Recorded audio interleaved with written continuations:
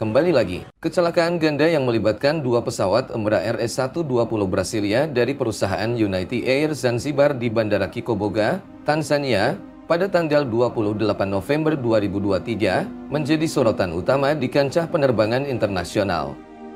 Insiden ini menggambarkan ketegangan dan tantangan yang dihadapi oleh United Air dalam memastikan keselamatan penumpang dan mengembalikan kepercayaan masyarakat terhadap layanan penerbangan mereka.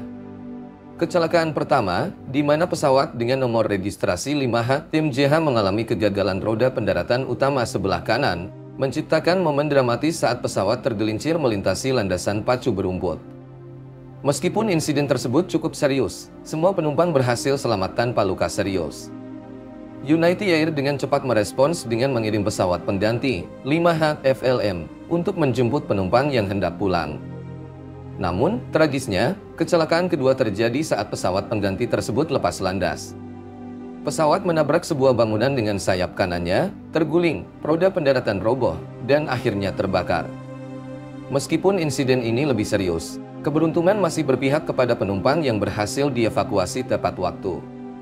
Adegan kecelakaan yang terjadi dalam urutan langkah-langkah yang langka ini menjadi viral di media sosial, memicu perbincangan luas dan keprihatinan publik. Keselamatan penerbangan menjadi fokus utama dalam situasi ini, dan United Air dihadapkan pada tantangan besar untuk memulihkan kepercayaan masyarakat terhadap layanan mereka. Reputasi perusahaan dapat terguncang, dan langkah-langkah tanggap dan transparan akan menjadi kunci untuk mengatasi dampak negatif dari kecelakaan ganda ini. Peristiwa ini juga menyoroti pentingnya penyelidikan menyeluruh untuk mengidentifikasi penyebab pasti dari kedua kecelakaan tersebut.